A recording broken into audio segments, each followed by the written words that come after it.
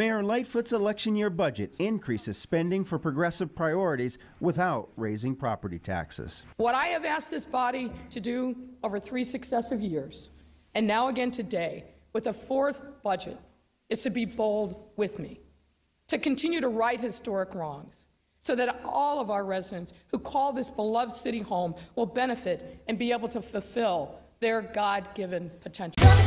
There you go. Thank you, sir. There you go. There you go.